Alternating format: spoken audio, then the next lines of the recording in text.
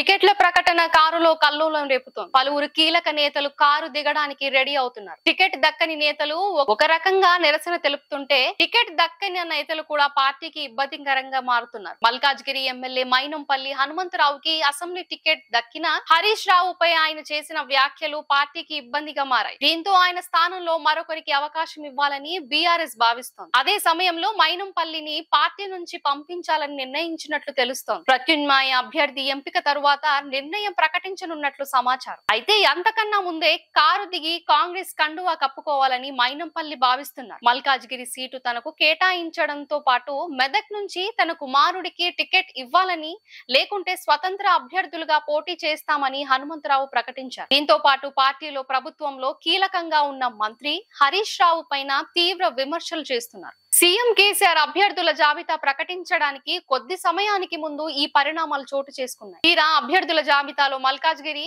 అభ్యర్థిగా ఆయన పేరు ఉండటంతో ఇదే విషయాన్ని విలేకరులకు సీఎం వద్ద ప్రస్తావించారు. టికెట్ కేటాయించారు పార్టీ క్రమశిక్షణకు కట్టుబడి ఉండాలా లేదా అనేది ఆయన ఇష్టమని సీఎం వ్యాఖ్యించారు అనంతరం మంత్రి కేటీఆర్ ఎమ్మెల్సీ కవిత తదితరులు మైనంపల్లి వ్యాఖ్యలను ఖండించారు.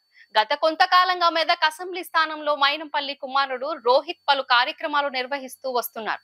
రోహిత్ కే మెదక్ టికెట్ ఇవ్వాలంటూ ఆయన అనుచరులు ఆందోళన కూడా నిర్వహించారు. ఈ నేపథ్యంలో మెదక్ పద్మా దేవేందర్ రెడ్డి మళ్ళీ పోటీ చేస్తారని పార్టీ స్పష్టత ఇచ్చింది. స్పష్టత ఇచ్చిన తర్వాత కూడా మైనంపల్లి రెండు స్థానాల నుంచి పోటీ చేస్తామని తెగేసి చెప్తున్నారు. మల్కాజ్గిరి నుంచి మైనంపల్లి స్థానాల్లో పోటీ చేసే అభ్యర్థి కోసం బీఆర్ఎస్ వేట మొదలు పెట్టింది మర్రి రాజశేఖర్ రెడ్డి షంబీపూర్ రాజు పేర్లతో పాటు పాటు మరో పేర్లను కూడా పరిశీలిస్తున్నట్లు తెలుస్తోంది. అభ్యర్థిగా ఎవరు నిర్ణయిస్తే విజయ అవకాశాలు ఎక్కువగా ఉంటాయో అని అంచనాలకు వచ్చిన తరువాత నిర్ణయం వెల్లడించనున్నట్లు తెలుస్తోంది. మరోవైపు మైనంపల్లి హనుమంతరావుతో కాంగ్రెస్ నాయకులు మంతనాలు జరుపుతున్నట్లు తెలిసింది. కాంగ్రెస్లో ఇప్పటికే ఉన్న వారికి సీనియర్ నాయకులకు కూడా కుటుంబంలో రెండు టికెట్లు ఇవ్వడానికి కాంగ్రెస్ అధిష్టానం ఆసక్తి చూపడం లేదు. గత ఎన్నికల్లో అనివార్య పరిస్థితుల్లో ఉత్తమ్ కుమార్ రెడ్డి దంపతులకు మాత్రమే అవకాశం కల్పించారు.